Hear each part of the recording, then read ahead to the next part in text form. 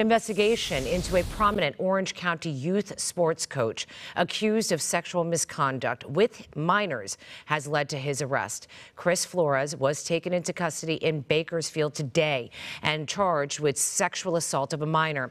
A recording of a phone call between a girl and Flores shared with KTLA includes Flores pressuring the girl to join him on a date and asking if she was sure she got rid of everything. Flores had been fired from Stars Preparatory Academy and Stars SoCal earlier this week.